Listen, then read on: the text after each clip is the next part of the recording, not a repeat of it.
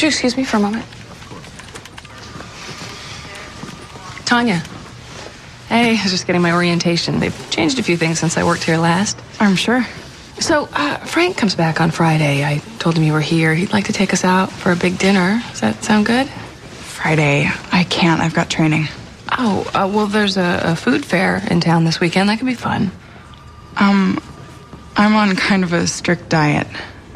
Or a concert? Denise, I really appreciate it, but you don't have to make such an effort. It's no effort. You're not my family, okay? You don't have to look after me. Right. Excuse me.